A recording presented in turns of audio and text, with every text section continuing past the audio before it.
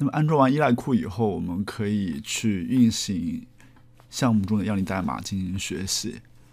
点击 File，点击 New Project 之后呢，我们输入呃我们项目的文件目录。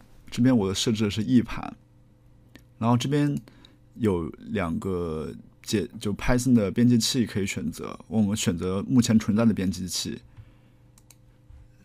由于我们刚才安装了依赖库的环境，那么我们要把我们的系统编辑器设置到我们刚才创建的 Python 环境中。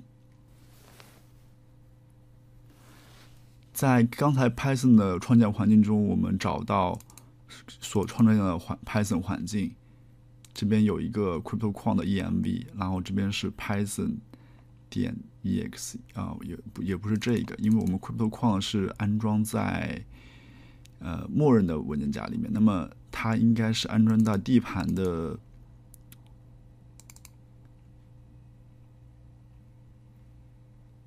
D 盘的这个 Python 环境里面。那么我 D 盘里面已经装了一个 Python 三五点零点一这个环境，它这边有一个 envs，这里的 envs 就是它呃使用 Conda 创建的虚拟环境。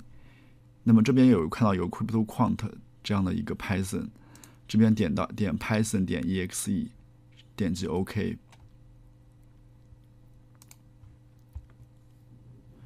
那么选择好这个 Python 环境以后，我们点点 OK 就行了。点 OK 完以后，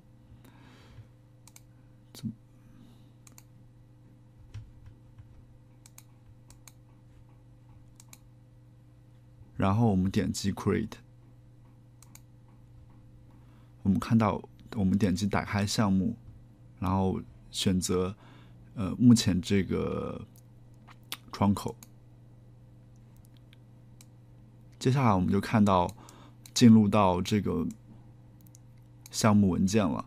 我们打开 Crypto 框的 example，里面有一个 insert file 和回测。我们先来试一下回测能不能运行。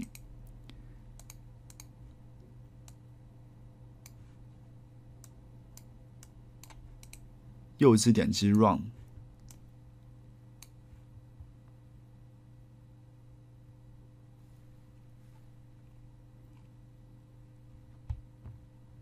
啊，我们看到它的回测是完全没有问题的。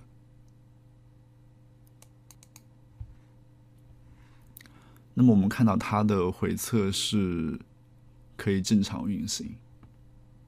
如果大家对本节视频有任何疑问，可以加我微信交流。最后也麻烦大家三连支持，谢谢大家。